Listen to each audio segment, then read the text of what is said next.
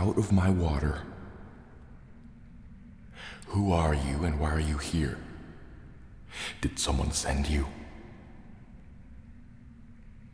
Well, are you just going to stand there with your eyes widened or are you going to answer me? Hmm. Hmm, I, I see. How do I know you're not lying? How do I know you're not after me? You say you're exploring and curious and mean no harm, but my instincts tell me more than that. They tell me not to trust you because of your humanity. I'll admit, I've never truly met a human before, but I've heard many things about them. Most not pleasant. Oh no, I won't listen to your reasons and possibly lies. I'll find out if you're benevolent or malevolent myself.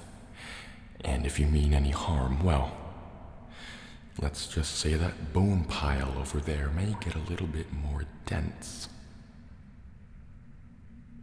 Oh, yes, those were not animal bones. Well, I suppose humans technically are animals. Either way, there is a highly slim chance that I won't harm you. That is, if you do not harm me in return, mentally or physically, do I make myself clear. That's good. Now, before I get further sidetracked, allow me to make my point. Give me a reason if not more than one reason why I should trust you and why I shouldn't rip. Mm.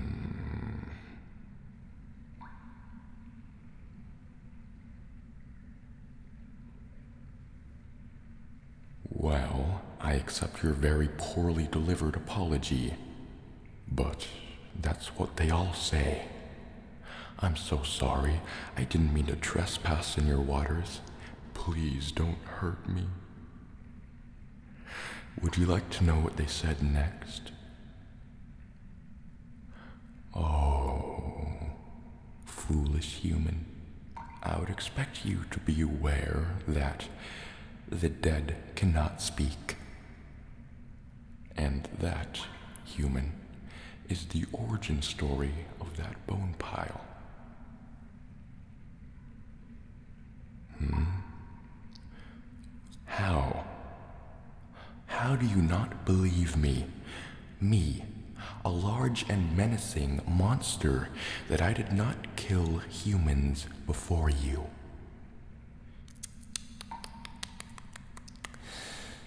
I can give you a first hand experience if you'd like, human. That's what I thought. No, I will not let you take a closer look at the bones. I know you humans can be undeniably fragile and sensitive when it comes to other humans perishing. Not only that, but you've already explored my waters thoroughly enough. Knowing all the countless illnesses your kind carries, I may not be able to drink from my waters again. So don't you dare test me. If you irk me any further, to make a long story short, I've already lost enough. Therefore, I would not be afraid of losing a mere human, especially one that I barely even know. Oh, human, kindness and admiration will not save you from me. I've suffered immensely, and you will not lift my spirit with your words. Stop trying.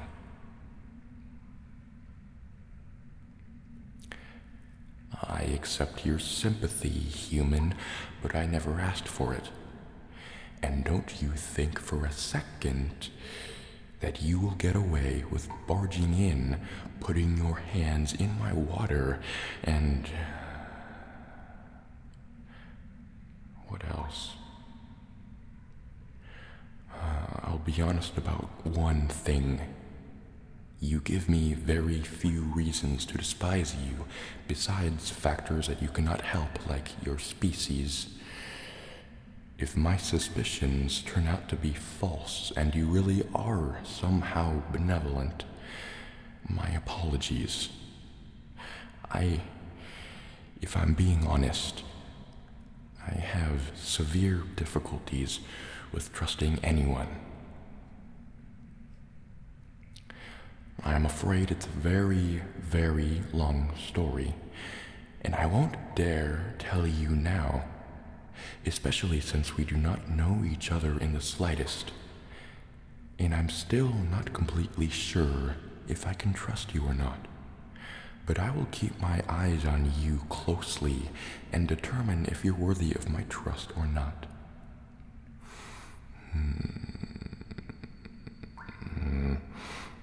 For now, human, I will not harm you. Just don't do anything inane. Or else, again, you'll make some new friends over there in the bone pile. You. You may not seem greedy or violent to me, yet I'm still on edge. You humans can often be extremely manipulative.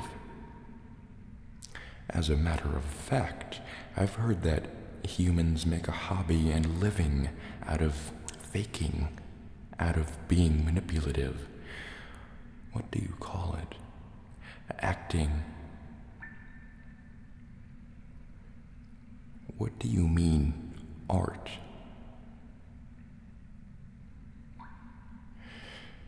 Ah so, to you, it's used for entertainment? To me, it just seems like advanced pretending. Hmm. Your kind is so bizarre, yet fascinating at times. The most bizarre thing I've found about you is why are you not fearful of me? You should be. I may not be completely visible to the human eye, but for your information, I am a ferocious beast with razor sharp teeth that could rip through steel as if it was a sheet of paper.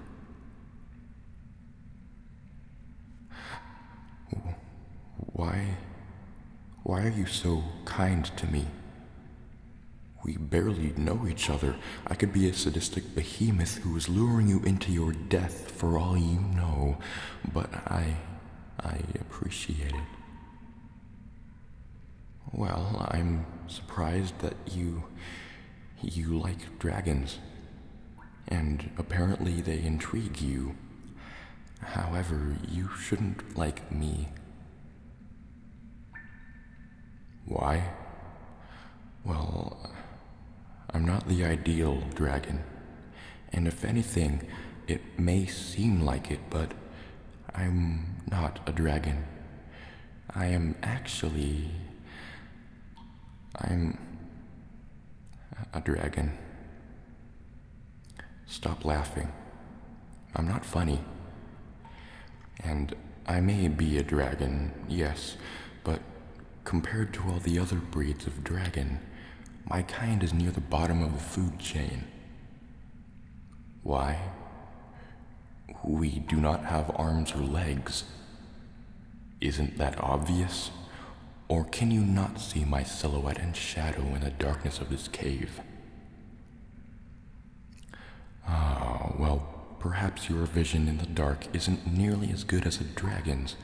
I still need to get used to calling myself a dragon. Speaking of calling ourselves things, what's your name? I see. That's not a terrible name. My name? I will not reveal that yet. I'll reveal it once if I trust you more. Don't get your hopes up, human. Your kind is very flawed and often vexing. Chances are you'll do something that will irk me and things will not end well. Don't expect me to warm up to you so soon and easily. After all, at the moment, I am very easily aggravated. Although I do admit, you seem to care tremendously about first impressions, considering how you're acting in front of me. I can tell that there is something off. Unique would be the better word. I can sense that there's something, if not multiple things, that are unique about you.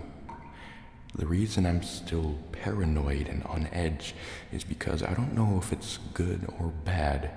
So do not take it personally if I remain cautious around you for a very, very long time. I'm glad you understand, and I'm glad you haven't gotten on my nerves yet which surprises me greatly. By now, I would have expected myself to force you out of my cave, but I find myself not minding too much, because you don't seem to mean any harm. Even if you did, you are the size of a rabbit compared to me, so once again, I'll warn you.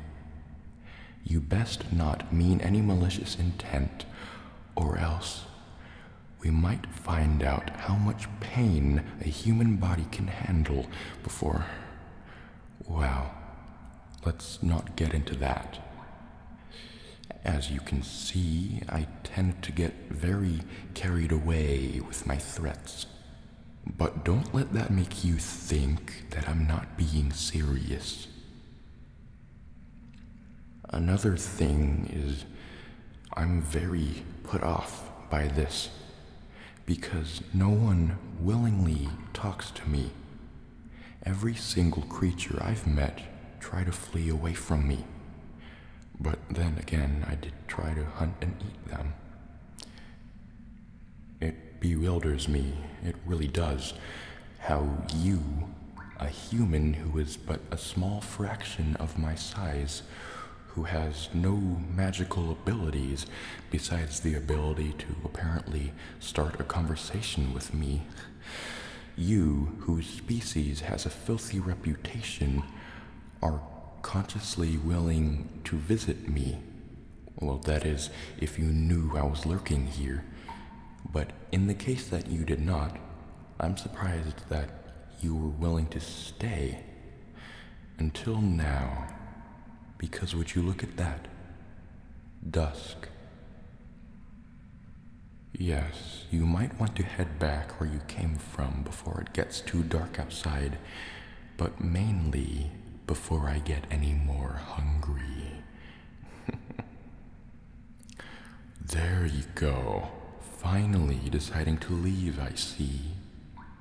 I am surprised I didn't hurt you to make you leave. I'm pretty sure that the main reason I did not lose control over myself is because you didn't. You kept calm. Before you leave, I advise you to never come back and never trespass my waters and in my cove again, for you may not find your way around me next time.